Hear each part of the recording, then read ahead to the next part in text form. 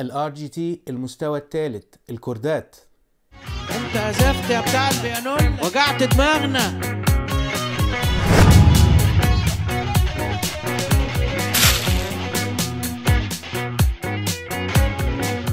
أهلا بيكم. النهارده هنكمل في كورس ال RGT جزء مهم جدا الكوردات. الكوردات بتاعت ال RGT المستوى الثالث سهلين جدا. إحنا أخدناهم قبل كده في كورداتنا إحنا الخاصة اللي عملناهم قبل الكورس. ولكن آه، الكورس ال RGT ميزته إن هو بيدي لك كل كل level حاجة زيادة شوية فبيدرجك معاه إنك أنت تبدأ بالتدريج. عشان كده أنصح الناس كلها اللي بتبدأ جديد يبدأ معانا من الكورس من الأول فهيبدأ مع خطوات الأولى في عالم الجيتار اللي هي هتبقى الكوردات المفتوحة مثلا والسلالم على الوضع المفتوح. كل ده مشروح بالتفصيل في أول level من ليفلاتنا بتاعت ال RGT طيب آه إيه بقى اللي هيبقى في ال level الثالث أو المستوى الثالث في المستوى الثالث هنبدأ الكوردات ال barre يعني إيه ال chord barre زي ما شرحناه قبل كده وهنكمل نعيد الشرح تاني. ال chord ال barre بيبقى بإن أنا بستعمل كل الست أوتار في وضع مغلق. مفيش ولا وتر منهم متساب حر. فبيبقى إن أنا لازم أعمل تصريفة بصوابعي بحيث أنا عندي ثلاث صوابع أقدر أمسك بيهم ثلاث أوتار. طب والثلاثه التانيين بيبقوا بصباع واحد مغطي الثلاث أوتار.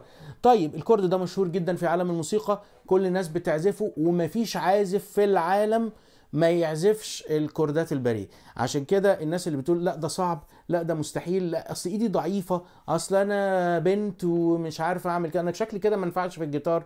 كل الناس بدأت زينا كده كل الناس بدأت تتعب في الأول. وفعلا ال chord بيطلعش أصوات معانا كتير. وبدأنا قعدنا فترة طويلة لغاية ما الصوت طلع صح. انت بتخلي صباع واحد يمسك ثلاث اوتار والثلاث اوتار التانيين ممسوكين بثلاث صوابع تانيين في وضع صعب على الايد والايد أساسا عضلات الصوابع بتاعتها صغيرة مش كبيرة فبيبقى صعب تمسك اوتار كتير. عشان كده أنا أنا عملت الحلقة ديت بالجيتار النايلون لأن الجيتار النايلون أصعب من ال electric. فلو أنا جبت جيتار electric الناس هتقول ما أنت هو ماسكه سهل بقى ما إحنا عندنا جيتارات كلاسيك في البيت ومش عارفين نعملها عليها أو جيتارات acoustic.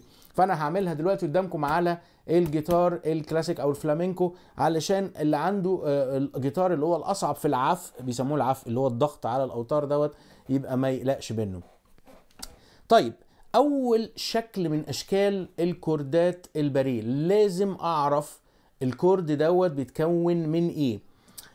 ال chord اساسه عندي هيبقى على الوتر السادس فأي نغمة صباعي الأولاني اللي هو السبابة دوت بيشاور عليها ده معناها ده اسم ال chord بتاعي. فأنا لو أنا شاورت على الصول هنا هيبقى ده chord صول. لو شاورت على اللا هنا هيبقى chord لا. كل ده أنا بتكلم على الوتر الأخراني. دي صول على الوتر الأخراني دي لا على الوتر الأخراني دي سي على الوتر الأخراني دي دو على الوتر الأخراني. إحنا حفظنا الأوتار ولا لسه؟ مش لازم نحفظ بقى. طيب. أول حاجة إن الصباع بيبقى ضاغط على كل الأوتار. حاول تضغط بصباعك على كل الأوتار. حاول تقرب أكتر ما يمكن للفريت اللي هي أساسا أنت بتعفق عليها أو بتضغط عليها. ما ما تجيش فوق الفريت. لا خليك جنبها على طول. خليك جنبها على طول. حاول تعزف كل الأوتار. لازم كل الأوتار يطلعوا صوت. حاول تطلع أو من كل الأصوات من كل الأوتار. طبعا وضع صعب جدا مش هتقدر تمسكه حتى فترة طويلة. فأنت حاول دايما تعود نفسك إحنا بنعود نفسنا في الأغاني. لما بنمسك الكورد مثلا اللي هو الباريه دوت مثلا مش بنمسكه على طول كده وحتى النغمات هتبقى سايحة على بعضيها مش هيدي إيقاع ولا هيدي صوت حلو. فأول صباع اللي هو صباع النمرة واحد بتاعنا دوت هيبقى ماسك كل الأوتار. تاني صباع عندي أنا همسك الوتر التالت الخانة اللي جنب على طول الصباع دوت وحاول تبقى جنب ال fret على طول تبقى جنب ال fret على طول. صباع نمرة ثلاثة هيمسك الوتر الخامس في الخانة اللي بعديهم على طول والصباع الرابع جاي لوحده كده عايز يمسك الخانة اللي تحتها اللي هي عندي الخانة اللي على الوتر الرابع. فبيبقى دوت شكل ال chord السول major لأن أنا الوتر السادس عندي صباعي مشاور على السول. فحاول أعمل طبعا مش هقدر أمسك وقت طويل كده أنا رخيت إيدي دلوقتي. في الإيقاع لما بنيجي نعمل إيقاعات بالكوردات الباريه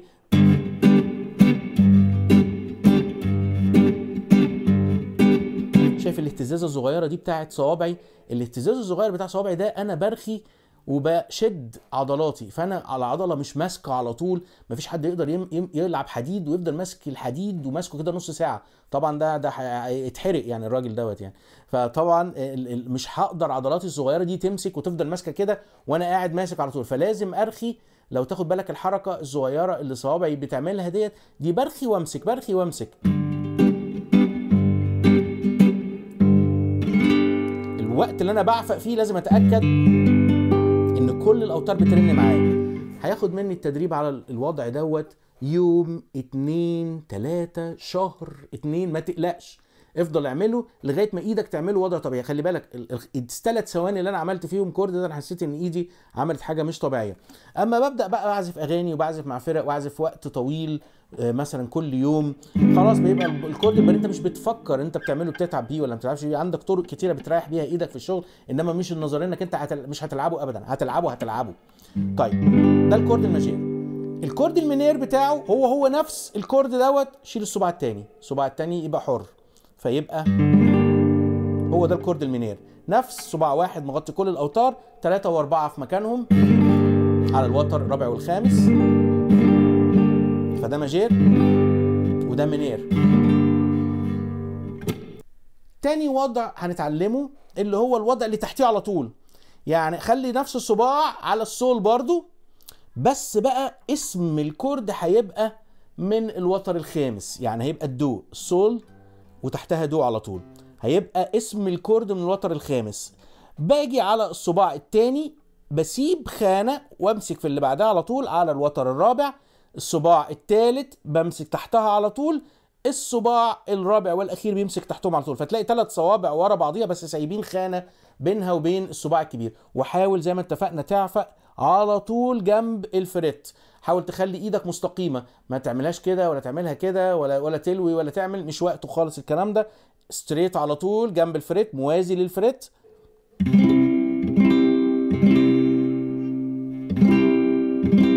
تاكد ان كل الاوتار بتتعزف معاك. فانا عندي دلوقتي سول ودو والاتنين ماجير وعندي مينير سول إحنا عملنا التلاتة فوق بعضيهم كده. صح كده؟ لو أنا شلت الصباع الصوابع التلاتة كلهم وبدأت بقى أرتب ترتيبة تانية خالص هحط الصباع التاني على الوتر التاني في الخانة اللي جنب الصباع الكبير على طول اللي هو ماسك كل الأوتار وتلاتة وأربعة هو كأنه بالظبط اللي أنا عملته فوق في السول ده هنزل بيه خانة واحدة بس على النغم اللي تحتيه اللي هو هيبقى دو فده كده دو مينير ده دو ماجير ده دو مينير لو تلاحظ لو أنا جيت عملت ال chord الماجير كده الثلاث صوابع فوق بعضيهم صح كده؟ أنا صباع اللي تحتاني ده خالص اتزحزح راح هنا بس طبعا عشان مش هعرف أحركه كده وأعمل بقية الصوابع صح فبضطر أغير ال form تاني. ما خلاش ده مخك يشتغل شوية؟ إيه الفرق بين ال chord الماجير وال chord المينير؟ هقول لك أنا. التالتة التالتة في ال chord الماجير تالتة كبيرة عبارة عن تون كامل وتون كامل من الدو للري تون كامل من الري للمي تون كامل فده تون كامل. الدو مينير المي دي بتبقى مي بيمول فدو ري مي بيمول التالتة صغيرة مش تالتة كبيرة. فده معناه إن الخانة اللي أنا بعزف عليها بصباعي الصغير ده دي تالتة بتاعت ال chord بتاعي. يبقى أساس ال chord بتاعي هنا والتالتة بتاعته اهي طيب امال فين إيه الخمسة بتاعته؟ إحنا مش خدنا في الكوردات ال power الوضع ده؟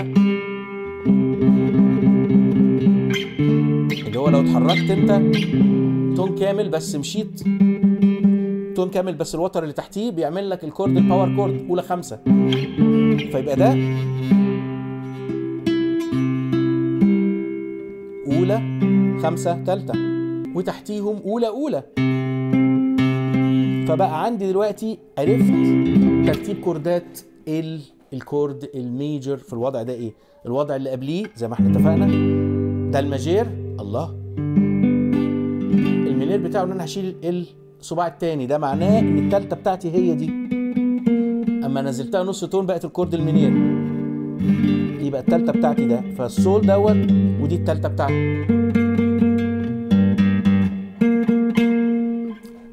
بحاول دايما وأنا أعزف في الكوردات وبعزف أشغل مخي عشان أحلل ال chord اللي أنا بعمله ده هينفعني بعد كده لما أجي أعزف ال arpeggios وأجي أعزف في السلالم. كل حاجة مرتبطة ببعضيها. كل حاجة مرتبطة ببعضيها. عندنا على الجيتار لحسن حظنا عشان يخلي الآلة دي من أجمل آلات الدنيا في العزف. أعمل إيه بقى؟ خلاص هو كده؟ آه خلاص هو كده. تخيل. بس لا استنى بس ما تستعجلش.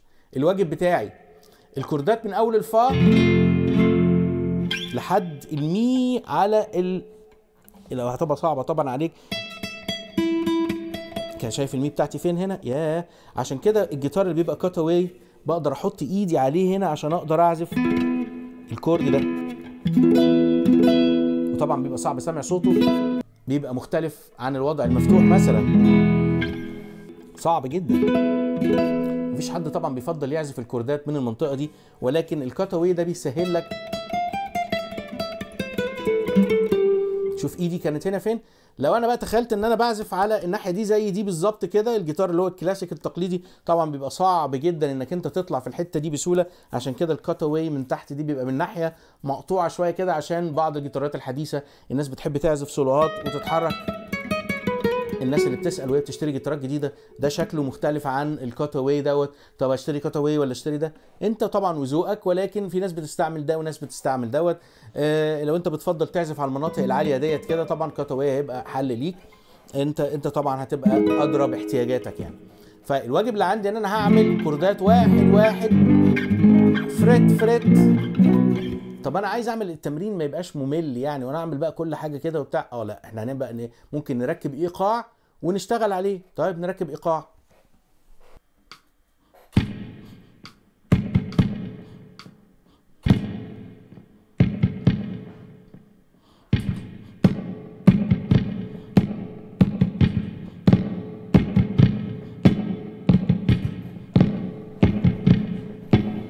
عملت الإيقاع.